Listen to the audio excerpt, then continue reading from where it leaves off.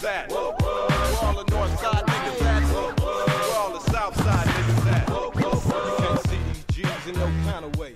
So what you wanna do? Hey, you guys, you welcome, say? welcome, welcome. It is the Donovan Saadiq Show. We are back on. How many of you guys remember that song by uh, Muslim rapper, a, a Nation of Islam member, Kam? He's one of my favorite uh, rappers because he talks and uh, spreads Minister Louis Farrakhan's message. Really, really uh, good stuff. If you got some of his albums, awesome albums, great production, a lot of stuff going on there. But hey, you guys, welcome. My name is Donovan Saadiq. You guys are tuned in to the Donovan Saadiq Show, you, and I want to wish you guys a welcome, welcome, welcome.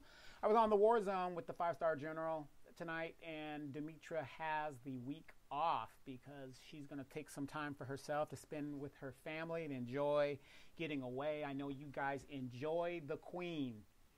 Yes, you guys enjoy her but I'm saying this online. I want this to be publicly known. I discovered her. She is my discovery. Now, I will sell her contract for the right price. So let's let that go out there. Uh, no, but Demetra and I have been friends for over 30 years, went to the same high school. And, uh, you know, I do a lot to keep her in check and keep her informed. I taught her everything she knows, you guys. If you guys didn't know that, when you guys look at her and you say, wow, she really knows what she's talking about, she's really into all this stuff, I taught her everything she knows. But uh, no, in all seriousness, she gets a lot of that from her family. They have an exceptional family, they do a lot of great stuff. The five star general has touched down in Minneapolis. And as you guys know, the George Floyd um, trial for the uh, Chauvin officer, the former Minneapolis officer and murderer Chauvin, is taking place. They are in the midst of rigging this um, trial case. We, you know, it's obvious what the outcome is gonna uh, gonna- is going to be. And my question, as I said on the uh, War Zone tonight, was, what are we going to do about it? We know what the outcome of this is going to be, but it just seems to me we keep going from tragedy to tragedy to tragedy, and we just have no answers. Well, we have answers. The problem is everybody wants to just do what they've been doing just to talk shit. One of the last things we said on the show tonight was it's it's just amazing to me how I can ask somebody in the black community about uh, HR 40 or a, a bill that is significant to black people, and they really can't tell me much about it other than the soundbite. But if I ask them about, well, did you see Coming to America too? Oh, God, it was horrible. Oh, God, it was great. Oh, my God. They can tell you everything about the movie and they can go into that. But yet, they can't seem to tell you what is going on in their own community. Thus, you have the new black media out there and all these different platforms that try to inform you. But the funny thing is, we spend most of our time fighting the very people who are just trying to inform you. If you don't believe what the new black media or people are trying to tell you, that's fine. But it, you know, I have to call you out, and it's kind of suspect to me that a soundbite by the national known media that has an agenda against black people, you guys are quick to believe that. Please explain that to me. It just doesn't. It doesn't make sense. I, I just excuse me, I just really, really don't get it. But, you know, I'm not bowed nor I'm not persuaded. Uh, I'm not giving up because uh, I have woken up a lot of people. And I've done that in conjunction with other new black media outlets. And if we can just get one person to think, I'm not asking you guys to believe what I believe or say what I say. I'm just asking you guys to think for yourselves and do some critical thinking because that's one thing we're lacking critical thinking. So, you know, to make a long story short here, and it's the funniest thing. My mom calls me uh, yesterday, and I'm, in, I'm at Walmart doing some shopping or whatever I'm doing. And she calls me and she goes, uh, Maxine Waters. As you guys know, um, I'm a California resident. I've been here since I was six months old. I've lived lived here off and on uh, outside of my military career. I'm a California kid, but I was born in, in Louisiana. And my mother uh, calls me and she goes, I've been like looking up on Maxine Waters. And she goes, I don't see any legislation there. And I said, Mom, what is it that I've been trying to tell you and everybody else for the last six years? The stuff that we say on the show? Black politicians ain't shit. They have no legislation that you could actually name off of the top of your head.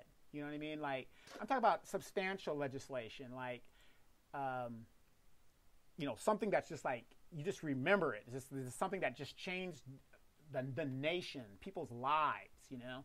Everybody knows about the, um, the abortion, you know, bill and all this other stuff. But no, you know, there's black politicians, all they do is name post offices and they, they uh, do civil rights decrees and give out civil rights medals to their buddies. That's all they do. So, and don't get me wrong, I do not blame my mom or anybody from the civil rights era that want to defend people in their age bracket. If you know that's human nature, you're going to do that. But you got to call it out for what it is. And you know, my mother was like, I was like, "Well, mom, what were you expecting to find?" You know, and she was just like, "Well, you know, she's been in there since 1993." Well, there's she hasn't done anything. That's right. That's right. Auntie Maxine doesn't even live in the uh, neighborhood that she represents, the district that she represents. She doesn't even live there. So, what does that tell you? You know, I don't have a problem with these politicians making millions of dollars, but couldn't she have lived in a mansion right there in South Central Los Angeles? She could have built a mansion right there. She has the money, she funnels the money to her family. You know, so I don't want you guys to think that I'm just like on top of black people all the time. I'm just calling out what I see. And uh, unfortunately, a lot of you Negroes out there, you don't live in Los Angeles. And if you did live in it, you don't live here no more because you can't afford it. Because these representatives are not protecting you. And your um, bell, doggone dogs driving me crazy here. They, uh, they're not protecting you. So you're you know you're being gentrified out of your neighborhood with this, which is what Maxine Waters did. She gentrified her neighborhood, and uh, you know people are gone. So now you know the Hispanic population is catching up, and uh, they're pr- eventually they're going to take her out. And so me and my mom are talking, and as we're talking, I said, "Well, mom, you know." You are aware that at 83 years old, Maxine Waters thinks that the song WAP is very empowering to black women my mom was like, What the hell is WAP? And I gave her the definition of what WAP is. And then she goes, What? She goes, you know, and my mom's very raw because she was in the army and stuff. So she talks to her sons because she only had two boys. So she talks to us, you know, very plain. She makes it very, everything is very, very plain with her. And uh, she was like, Well, what would Maxine Waters know about WAP? I said, Exactly. Exactly. But she said that's empowering. My mom was, that's ridiculous. I said, well, mom, that's why we need term limits. I'm not saying, you know, I don't want to get on ageism or something like that because, you know, you oh, this person's 80 years old, they shouldn't run. But if you have to be a certain age to run for certain offices, shouldn't there be a cutoff for the time that you, you could occupy that office? Dianne Feinstein is completely a walking zombie at this point. Joe Biden is almost there we need term limits, you guys. And, and, you know, and I also believe that if we had term limits, a lot of this bullshit that's going on in Congress with both parties would it wouldn't stop, but it would cut off these lifelong politicians. You should not be a professional politician. That shouldn't even be a vernacular word in the American dictionary. Professional politician. There, there shouldn't be such a thing. You should do your time and then go. And let somebody else get in there and then go. What does a 92 year old person know about what is going on to this very day and how it affects, you know, the new dynamic versus when they were here in 1932 as a young person? So, anyway, I'm Donovan Saadiq. I'm going to talk about today, if you guys haven't heard, I'm going to do a video on it. I hope you guys check out the video. It is about the LA Sheriff's Department here in California has found out that they have a gang problem within its ranks. And it's funny that when we talk about gangs, we think black. You know, gangs of the 90s, NWA, Bloods and Crips. No, we're not talking about that. We're talking about Mexican cartel type gangs. As California is getting more and more gentrified and black people are leaving and Hispanics are taking over what was former Mexico, their native land, they are also bringing the cartel culture with them. And they are finding that there is a gang culture within the LA Sheriff's Department. We haven't even talked about the police department. We're talking about the sheriffs. And there is a video. The uh, sheriff of LA County is total in denial. He's totally delusional and I'm going to show a video a little bit later if you guys get a chance to watch it. And it's going to show where this guy is sitting there. And this is where you, where you got to think about critical thinking. This is when I talk about critical thinking. He sits there and denies that there is a gang problem within his organization. There's no gang problem. That's what the sheriff of LA has, has said. He's on record saying that. There is no gang problem in the LA Sheriff's Department. But in the same breath, he says, if there is, it will not be tolerated. Well, Mr. Sheriff, either it you have a problem or you don't. There is no if there is. Because if you're saying if there is, then you're aware there's a problem.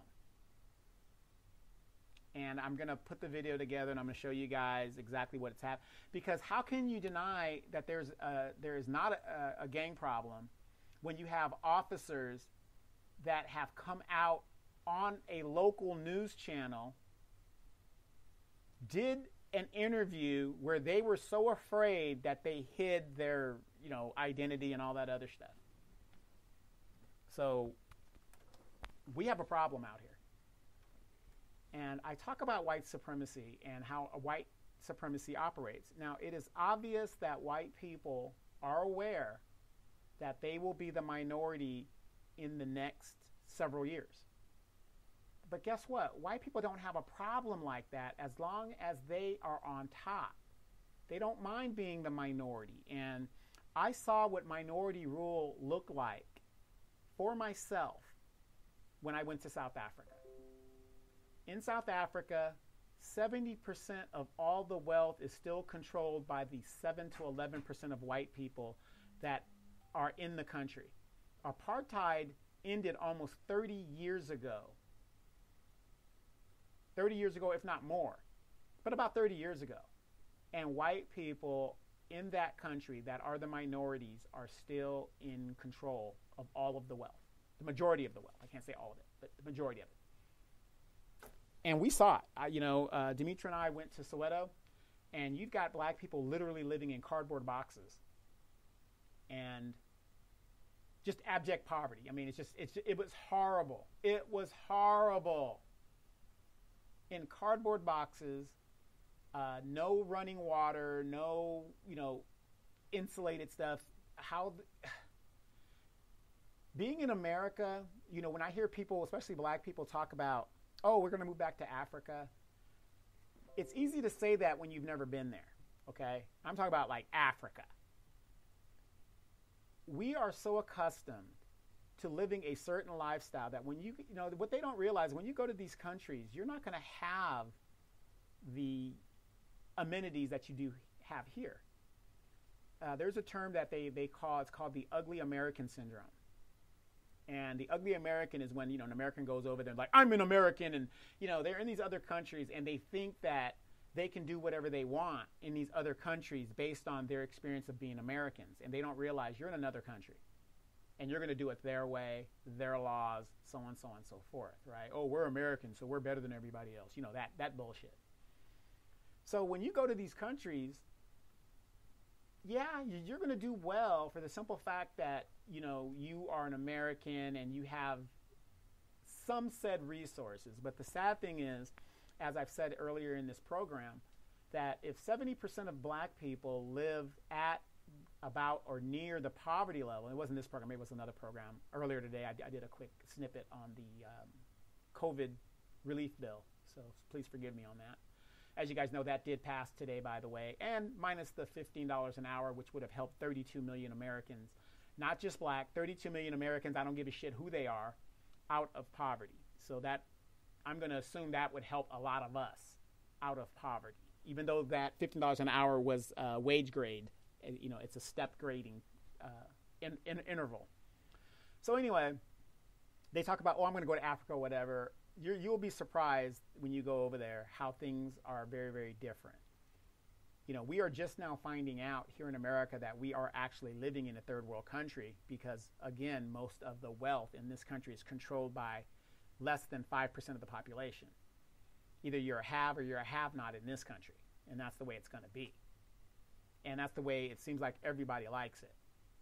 So, um, so yeah, so they you know they, they talk all this crap and they go over their absolute abject poverty for the uh, people who are have-nots. White people live in these pristine areas that are locked off and closed off, high security. It was just unbelievable. And you know, even though these black people live in cardboard boxes, as I've said on previous shows, everybody had a satellite dish. Everybody's got a cell phone. And then I come back to America and I look at what black people here in America and I say, same mentality. It's the same exact mentality. People are the same everywhere. Yeah, believe that. So, gang problems. So, white people want to stay on top. They don't care how they do it, as long as they can, if they can stay on top by proxy. And when they stay on top by proxy, that means using another group to assist keeping white supremacy in power. And that's a proxy. You know, it's just like what the government does when we go overseas. We fight wars via proxy. So, like in Afghanistan, when the Russians invaded Afghanistan, we armed the Kurds and all those other people that helped the Afghanistan, you know, um, bin Laden, all those people, and we gave them the arms and they fought the Russians without us having to do it. That's what we mean by proxy. You know, I hate that I have to break all this stuff down, but a lot of people don't read and they don't care to read. They watch a lot of movies, but they don't know shit. Right? So that's how white supremacy is operating here in the United States. So what they've done is that's why you see the Democratic Party catering so much to the Hispanic groups. And even Joe Biden said it himself. He said, You niggers need to get in line. He didn't say that, I'm paraphrasing. But basically, that's basically what he said when he was talking to those so called civil rights leaders and black leaders, whatever, in that secret meeting. You niggers need to get in line and get ready to take orders from these Hispanics. Because again, for 60 years, our numbers haven't moved. In a democracy, one man, one vote, one woman, one vote, whatever, how you want to call it. But if your numbers are not growing, then your vote as a group means nothing. Even though black people are the only group of people that vote as a block, and we give all of our votes overwhelmingly to the Democratic Party, and we receive nothing in return. What the Democrats don't care about, because Joe Biden will be dead and all these people will be dead, I'll probably be dead, you guys listening will probably be dead, is Hispanics 50% of them almost vote Republican. So they're going to let 11 million people who do not have citizenship in this country be, find a pathway to citizenship only to not vote for the party that gave them that pathway. Where the Democratic Party is the only group of people that vote and work against themselves because they don't care. They are corporate Democrat hacks. And this is what you guys have got to stop thinking. The Democratic Party does not represent the working man and the blue collar worker. They don't do that anymore. They are corporate hacks. Donald Trump ran as a populist. Who identifies in the, in the Republican Party as a Trumpster?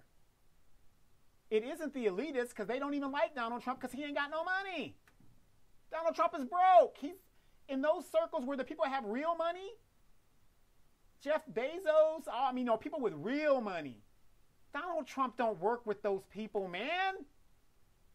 He don't run with that. He doesn't run in that circle. He wants to, but now he's been exposed.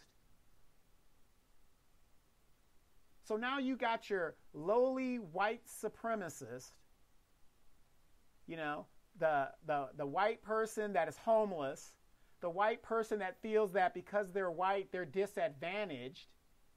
Those are the people that support Trump. You know, the, the, the, the people that are the blue collar workers of the Republican Party. They're even trying to rebrand themselves. They're calling themselves the, the, the working party. The Republican Party is the, the party of the working person. He ran as a populist.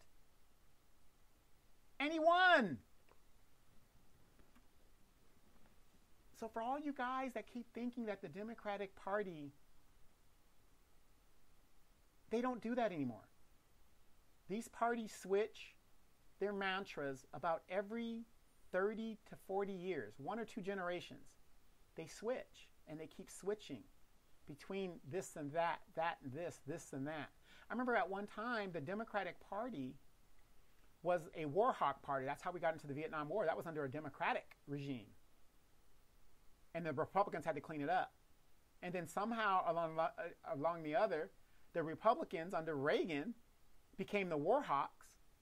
And then the Democrats became the pacifists. And it just goes on and on and on. Creative, you know, critical thinking, everybody. You just got to think about what is going on around you. But, you know, you guys want to hold on to these tropes that your parents keep telling you. You know, be patient. Be patient. 60 years, you know, weren't they saying be patient in the 1960s to the Black Panthers? Weren't they saying that to Malcolm X? Weren't they saying that to the Nation of Islam? Wasn't Martin Luther King saying that to everybody? And then LBJ and the Democratic Party and um, all these folks were telling them to be patient, just wait. Don't do the civil rights on Washington right now. Don't don't do the march on Washington. Don't do this on. Don't do this march. Don't go down to Birmingham. Be patient. Isn't that what what they were telling them? So after 60 years of no movement of the civil rights movement and the civil rights fighters, a lot of the civil rights fighters joined the very oppressors that they were fighting and got paid. Can't, you know, I blame them, but I can't blame them. Now, 60 years later, you're asking us to be patient a little bit longer? Huh? What? Can't do it. 60 years in my book is enough. I am sick and tired of being pushed to the back of the line when it comes to being a citizen here in the United States. I'm not doing it. We fought in every war that this country has ever been involved in, and we fought better and lost more lives in just about, in just about any other group outside of white people themselves. And this is how you treat us? But nobody wants to, to see the Democratic Party for what it is. It's a shell game. They are constantly either moving the goalpost or switching the shells to thinking you're doing one thing and doing the other. I get tired of people who get involved in politics every four years and they I'm voting for the Democrats. I'm voting for the Republican for president. You know, and that's all they really know. I have a friend that keeps telling me, oh, well, the parliamentarian took it out, so, you know, the Democrats just couldn't do anything. The parliamentarian is an advisor. Kamala Harris could have kept that in there. Why not? You got the votes. Why not? Do you know how hard it is to bring a bill to the floor once it comes out of committee? It, you know, it ain't like these things go into committee and the next day they're out. It could be in committee for months. Do we have time to wait to see? And then the Democrats try so hard to work with people that don't want to work with them. And then the Republicans go to their old playbook. Yeah, yeah. If you do this, we're, we're gonna we're gonna vote for it. Yeah, we're gonna vote for it. Don't worry about it. You got it. Take that out of the bill. We're gonna vote for it. You got my word. Yep, we're gonna vote for it. Take it out and see what happens. Then the dumbass Democrats take the damn thing out of the bill, and not one Not one Republican votes for it. But see, I, I don't think that that was an accident. I think that was by design. And I'm not talking about the Republicans, I'm talking about the Democrats. They are corporate elitists. Think about it. If you're a corporate Democrat, do you really want that $15 an hour bill in the budget or in the bill? Do you really want it? Do your corporate overlords really want that in the bill? Of course they don't. And you guys fall for it because you're not critically thinking. Oh my gosh, it is right there. I'm a corporate Democrat. I work for the corporations. Do you think I or my overlords want to pay more money for employees when I don't have to? So I'm going to finagle a way to get that $15 an hour out of the bill and just kick the can down the road. And that's what they did. But you so called longtime Democrats, and that's what I call you a Democrat. I'm a recovering Democrat or Democrat, however you want to call me. But I realize this game and what they're doing. And you guys fall for it. They that's the only thing that they took out of the bill. The one thing that could have gotten 32 million Americans out of poverty. That's the one thing they take out, took out of the bill. But back to my thing with uh, white supremacy. They use a proxy, and here in LA, uh, Southern California, you have a lot of Hispanics that are now in the police department. And what they're finding in these police departments is gang activity that is going on, gang tattoos, gang killings, gang initiations, and gang shootings. I'm going to put that video up, and if you guys get a chance, please check it out. You know, give me some feedback and, and let me know what you think about it. And they're going to be using these gangs to do their dirty work. So with the marijuana thing coming out, the prostitution, I mean, you know, it's it, all of this stuff is just tying in, and they're bringing these acts, shall I say, from across the border in Mexico, and they're just doing it here. I mean, it, there's, I mean, and what's really sad is Hispanic on Hispanic crime. So now you're seeing Hispanics, uh, mothers crying out as their sons are being murdered in the street by LA Sheriff County cops and probably police, but right now I'm talking about the sheriffs. Over this gang warfare type culture and initiation, people are getting. Uh, it's the same playbook they use on black people that they just have escalated now because you know there's really not too many black people in Southern California anymore because we can't afford to live here. Been gentrified out, but you know, people are being murdered, evidence is being planted, uh, policemen are being uh, investigated but nothing done. The culture of corruption has basically taken over these police departments. And it is becoming a problem as if, you know, if, as I, I'm convinced there is a gang problem, a Mexican cartel gang problem. And I'm convinced that if that is the, fa- the, the fact, the Mexican cartels will soon be running these police departments one way or the other, and nobody gives a damn because it comes to the money that is being made in the black markets and the illicit trades of drugs and prostitution. On Figueroa Street, you know, which is a known street here in California, you can look it up on YouTube. You will see young girls actually walking right in the streets as if as if this is somewhere in Tijuana, Mexico, unmolested by the police, plying their trade. This is where we're at. And nobody seems to think there's anything wrong with it or it needs to, you know, be stopped.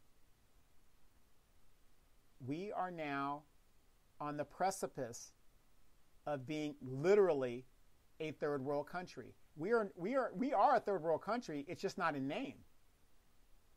It's just not in name.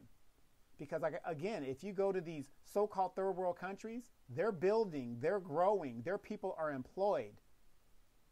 You know, they've been, there's, there's nowhere up to go for them but up. For the United States, we've been on a down, downhill slope since World War II. We can't seem to win wars anymore. There is no end game. We're in forever wars. The rich just keep getting richer and richer. Nobody has a problem with a corrupt president or Congress or representatives. They've legalized corruption here. And everybody just keeps going along to get along, not concerned about it. But if we do not do something about it, your grandkids are going to have to deal with this problem just like the civil rights era grandkids have to deal with the problem that they didn't take care of. As a black person, no other group wants to ally with us. Stop believing that bullshit. That is total lies. Hispanics do not want to partner with us. Asians definitely don't want to partner with us. We're on our own out here, y'all. We can't even come together within ourselves. Regardless if you agree with me or, and the new black media and some of the things that we're saying, why the fuck are you trying so goddamn hard to make sure we're not heard? All you guys do is parrot what you hear on TV, but you can't substantiate anything on your own. You know, critical thinking on your own. And that's a fact because when I talk to some of you guys, a lot of what you say I could hear on MSNBC or I can hear it on Fox. No, nothing to back it up. But yet you keep telling me the Democratic Party is a party for the working class. But yet you cannot name any substantial legislation by the Democratic Party to help the working class. Oh, they gave us a one time $1,400 stimulus check. Yay.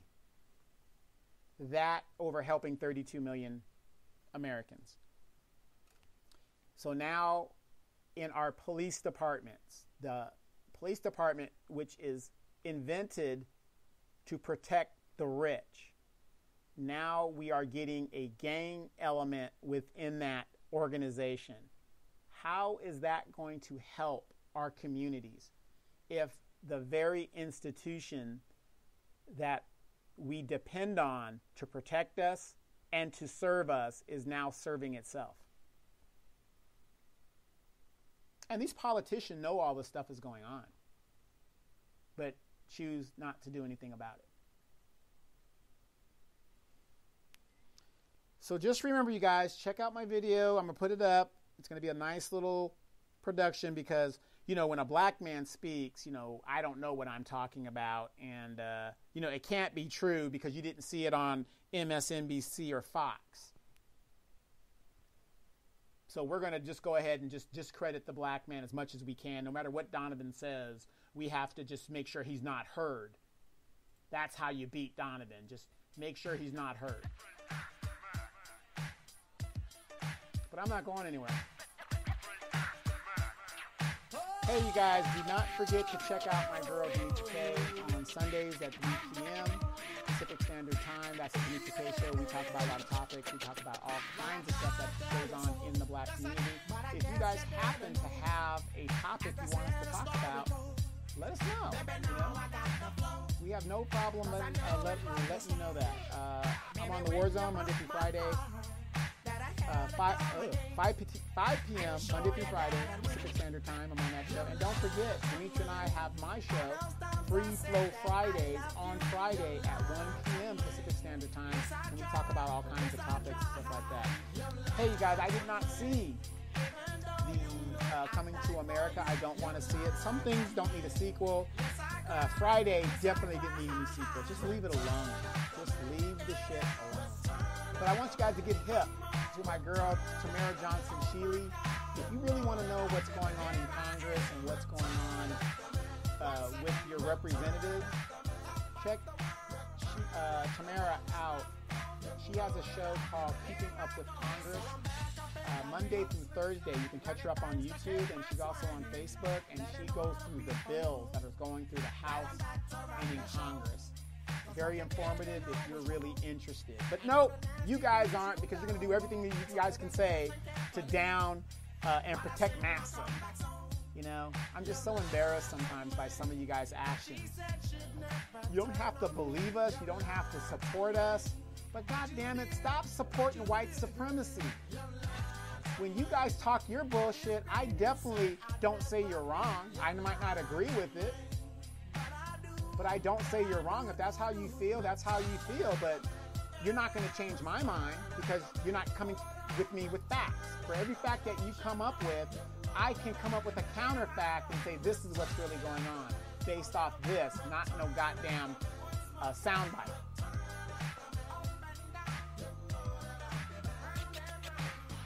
Uh, this song here was a very, very good song of mine, Return to the Mack by Mark Morrison. I was walking into a club in Australia during Tandem Thrust 97. And I was in a town called Rockhampton, Australia. And I walked into this club. And man, I had never heard the song. And I was just like, yep, this is me. This is me. Return of the Mack. But I'm not going anywhere, you guys. Like I said, I'm getting back into the podcast. Thank you guys for listening. Uh, you know, we got to stick together at the end of the day because as things are going, it's getting worse and worse and worse. And you know what? The veil has been lifted. A lot of you people are waking up, and I thank you guys. Thank you guys for, don- for donations. Again, uh, Jerry Wayne Monroe, he's going for the Houston uh, School Board.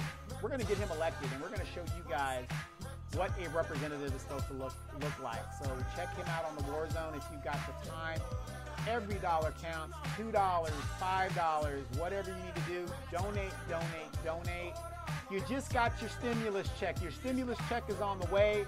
Donate to these candidates that are, that are actually out there doing the work, damn it. Stop voting for Maxine Waters, who's talking about WAC is empowering to women. What kind of shit is that? Support new black media. I'm Donovan Saadiq.